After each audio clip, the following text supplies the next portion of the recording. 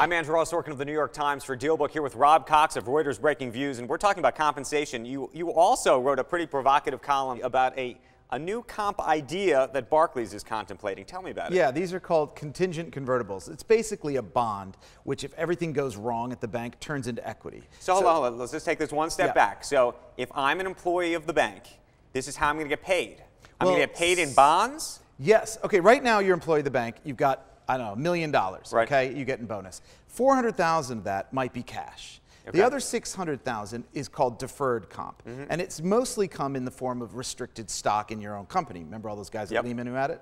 Didn't work out for them. But now what they might, they might do is they'll say, okay, instead of getting 600,000 in stock, we'll give you 300,000 in stock and 300,000 in essentially a bond. Now it's a bond which for regulatory purposes can be converted to equity in a heartbeat if, for example, there's some problem with the bank and regulators deem right, it so needs more is, capital. This is more, this is more for the capital issue of the bank than it is for the employees. Yes, it is, but, but at the same time, it's actually, if you look at it from an employee's perspective, it might be better to own a, a bond in some ways. Right now, you could look at, right? right? I mean, if you're getting 8%, which is what Barclays is, is talking about, and remember, this is just BarCap we're talking about, the investment arm of Barclays, um, and other firms in Europe are thinking about it. It's basically an 8% bond which you know turns into equity, which isn't the end of the world if, if things go wrong. Regulators like it. You could argue that a bond is less leveraged, right? So you don't have okay. the same incentive to swing for the fences as you do with the stock. Let me ask just more holistically yeah. about comp on Wall Street. Do we think that anything has changed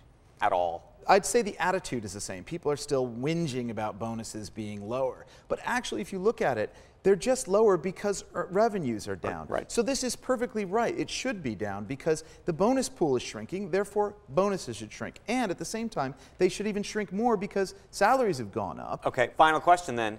Is this a new reality? Meaning the, the lower bonus, is this the new reality of Wall Street or is this a temporary uh, sort of uh, bump along so. a road, and uh, no. two or three years from now, we're going to be talking about much bigger numbers. These are well, I think we're looking at austerity around the world in the developed world for the next few years. So I would say yes, it's going to be sort of austere. Austerity is going to rule the day. But I will say Goldman Sachs or Morgan Stanley has an absolute banner year.